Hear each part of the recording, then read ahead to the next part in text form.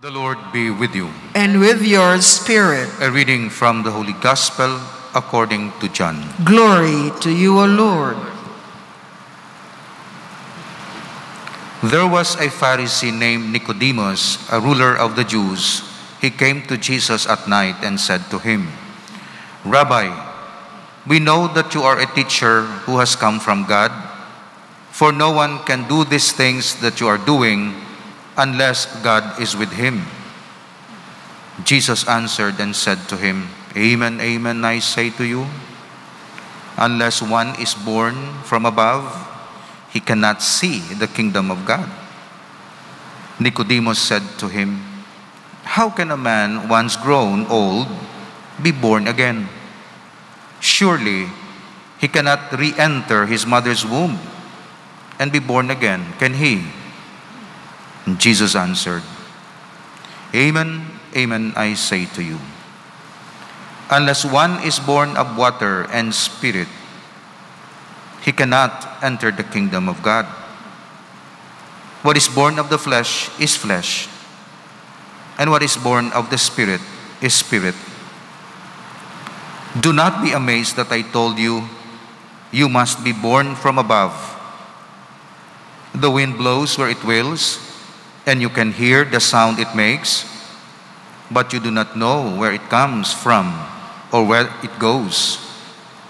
So it is with everyone who is born of the Spirit. The Gospel of the Lord. Praise to you, Lord Jesus Christ. We are disciples of Christ, and therefore we continue to submit ourselves to His grace and His teachings. He is our teacher. We meditated on the three forms of the body of Christ the physical body, resurrected, the Eucharistic body, his body in the form of bread, veiled under the form of bread, his blood in the form of wine, Eucharistic body. And then we have the mystical body, which we call church. That's why the church is not an entity which exists apart from Christ. The church is the body of Christ. Because oftentimes we separate church from Christ as if it's like an agency or an institution. No, it's unique. It's not like an agency or institution, even state or government. The church came from the heart of Christ. It's the extension of the body of Christ. That's why its foundation, her foundation, is the death and resurrection of Christ. Apart from Christ, the church is nothing. That's why when we say Christ, automatically we remember the church. And when we say the church, automatically we trace back it to Christ. If you establish a church apart from Christ, that's not the true church. If Christ has no church, well, he's just a figure and very important figure who died and does not do anything at our in our time today. That's why the church is at the side of Christ. And Christ established the church as his body and living body, his mouth to preach his gospel, his hands to help the poor, his heart to comfort the afflicted, to guide the people, to admonish sinners, to visit the sick, to counsel the ignorant, It's the instrument of Christ in this world to further His plan to realize His kingdom. When every time we say our prayer, Father, our Father who art in heaven, hallowed be thy name, thy kingdom come. And the instrument of Christ is his body. Just as my instrument to help you, to teach you, to love you, to form you, to pray for you, to bless you, is my very body. It's not only my spirit, it's my body. That's why Christ will continue and continues to do his work in this world to preach the gospel, to bring people closer to God through the church, his body. That's why the church is the mystical body of Christ. In the church, we have two elements at least the human element and the divine element. The human element is expressed in human structure. So we have the human persons who lead us, like Pope Francis and our bishops. They are human beings, they are not angels, they are not spirits, pure spirits. They are human and they belong to the human element. We have also our structure, our funds, our offerings, our money, our structure, our organization, our hall, the church, human element. We have also our pastoral council and programs. Like any other human agencies, the church is also human. Human element. And because it's a human element, it's not perfect. Human elements are not perfect. The Pope is not perfect. Your parish priest is not perfect. Our facilities are not very perfect because they're, they, they are they're imperfect human elements. But there's a divine element in the church, and that is what is perfect. The divine element is the Holy Spirit, the Word of God, the sacraments, the grace, the divine element. And it's perfect. The divine element is perfect. The human element is not perfect. That's why if you focus only on the human element, you will be frustrated because the church is not perfect in its human element. But the church is perfect in its divine element. Just as Christ assumed the body, He is divine and He is also human, perfectly fitted, hypostatic union, we call it in theology. So also the church is the combination of the divine and the human. Of course, the distinction is that the human element is Christ, is perfect, everything like us except sin. But in the church, because we are the members of the church, we are not very perfect. We are not perfect elements or components of the church. But the Holy Spirit is perfect. So gani kung kaisa ang mga tao mag-criticize sa church, kaya kita nila, ah mga pari, mga ano man na, hindi man na perfect. Kay pari nakita yan.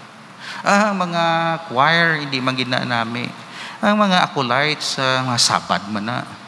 Eh, mga nagasimba na, hindi man na. Sila mga nagalinaway da. Uh, muna siya. Ah, mga ano na, na kay nakita nilang human element.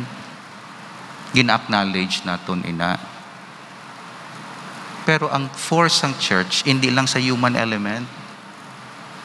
Hindi lang ang church human, divine siya. That's why strong siya. Kaya ang very foundation is the soul, the Holy Spirit. That's why kung mag-meeting ka mo, imbitara man ninyo Holy Spirit. Kaya ti church, party na sang church. Kung ahensya ka mo sagwa, di na kinanglan Holy Spirit, ah, ang inyo lang kaalam, kag ang inyo survey, kag inyo mga statistics.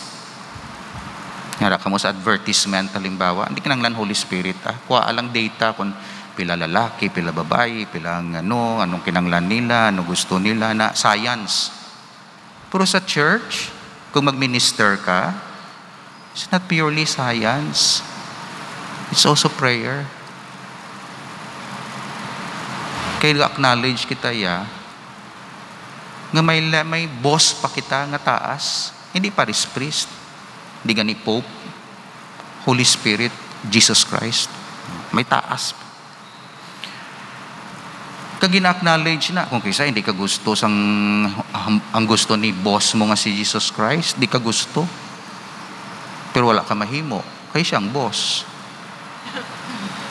Siling niya, thou shall not kill ha, o te, o thou shall not ano ha, o hindi ka makuha na gusto.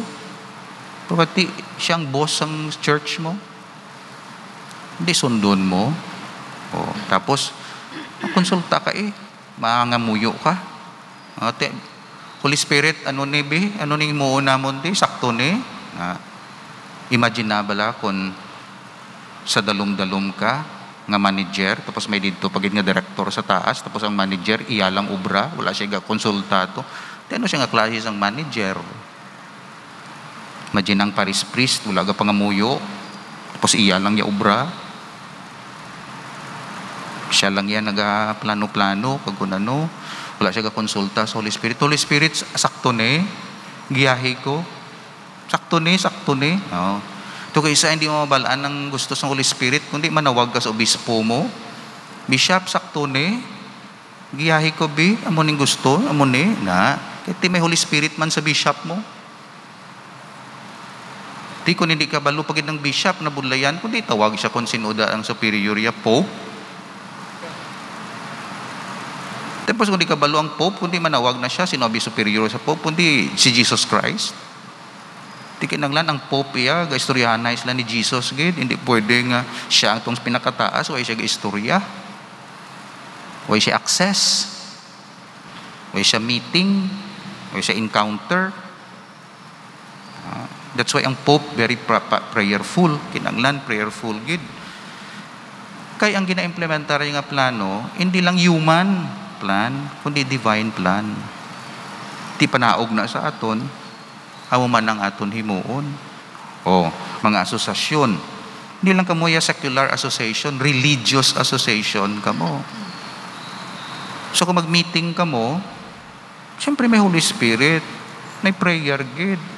Ang sakto nga prayer. Importanteng Holy Spirit, most especially mga major decisions ninyo Bisan gani minor nga mga activities lang ninyo. Pangayo kita sa Holy Spirit. Tawgon naton siya.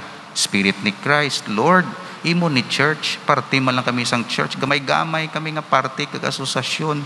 Pero willing kami, ready kami. Use us. Inspire us. Oh, paano kita ma-inspire? Mga mati kita. O, oh, sa aton meeting. Basta halin sa heart. Loving a heart. Humble Madapo Holy Spirit da giyahan kita. Kung hindi ka mo, mamangkot kita kay Father. No, kara da sa iya area ya mamangkot kita. O kung balaan ko ya nga mo ginayang programa sa parokya na pangamuyuan na ano, ti okay. Kung hindi iya, ti sorry eh. So hindi ka mag-resist. Kaya kung isa kung ga-resist ka, imo na ya plano. Hindi niya plan sa Holy Spirit. Mag-amo na iya, maguba ng simbahan. Kaya imo gusto, imo gusto, imo gusto, akon gusto. Kundi gina-discern, ginamitingan, ginaplastar, transparent, honest, gina-discern. O kaysa, akon ang nami nga suggestion. Ang daw iyagid sa Holy Spirit. Kung isa inhuman, may suggestion ako, inhuman. So ma-realize mo, uy, mas nami na. Daw spirit-filled ina. Isa hindi kita ka-decide, ti mamangkot kita to sa eksperto eh, mga pari kasi nung guide naton, kay tiyan mo na work ang Holy Spirit sa aton nga superior.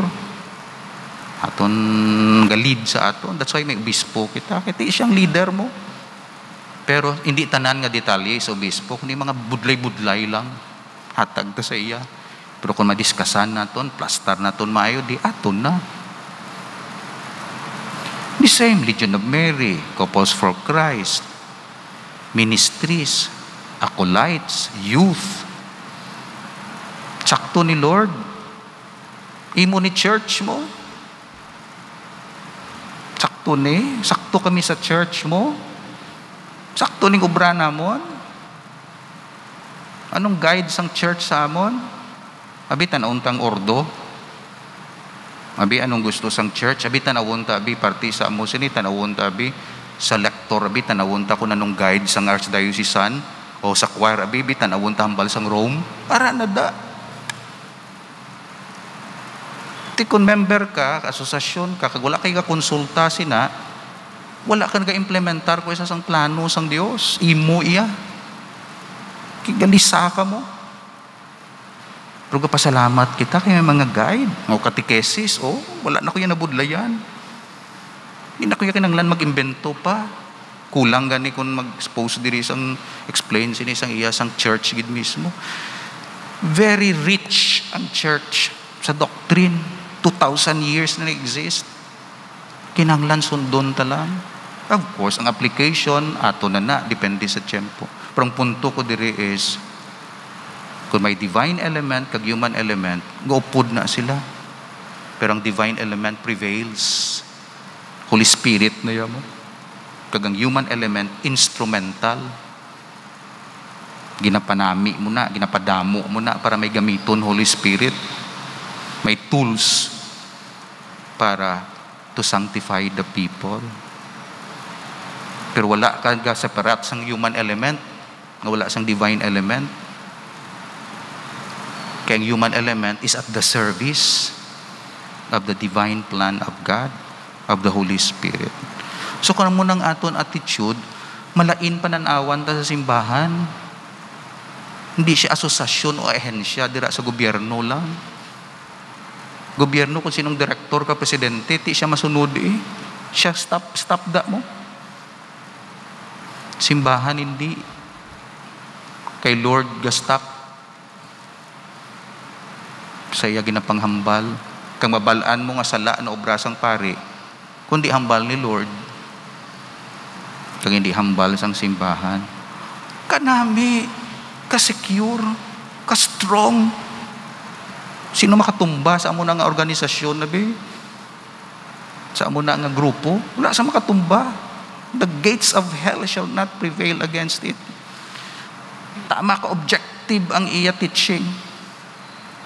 Tama siya ka universal wherever you go. Kadto ka sa Spain, kadto ka sa Europe, kadto ka sa San Joaquin, sa Carles. The same sacraments, the same doctrine Nabalaan mo kung sino gahimo sala kag sala nga doctrine. Balaan mo dayon kay ti may ara kita nga standard mo.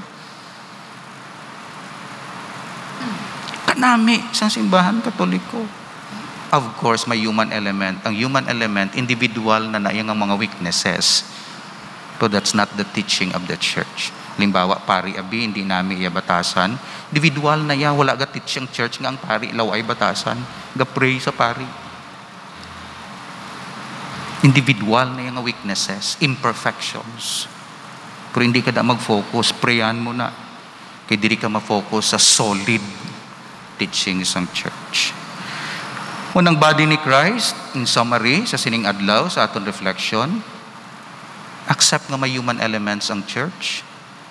Not very perfect. Pero believe nga may divine element ang church. Nga permi ang aton guide, katon ginapamatian. Ga-complement sila, pero isa mas taas, divine element sa human element. Kaya ang human element is at the service, just like the body is at the service of the soul. Pero tatapon tang lawas ta, kaya kundi pagtatapon, wala gamito ng soul. The same tatapon tang yet church, human element. Kaya kung pigaw ang human element ta, hindi effective ang paggamit sang Holy Spirit dira. You are part of the human element. But the Holy Spirit is the divine element. Mystical combination. Like nag-combine ang human nature and divine natures sa kay Kristo. Sa church, nagaupod ang human and divine elements sa simbahan. Amen. Eternal Father, You gave us the Easter mystery, the resurrection of Christ, as our covenant of reconciliation. May the new birth we celebrate show its effects in the way we live. This we ask through Christ our Lord. Amen.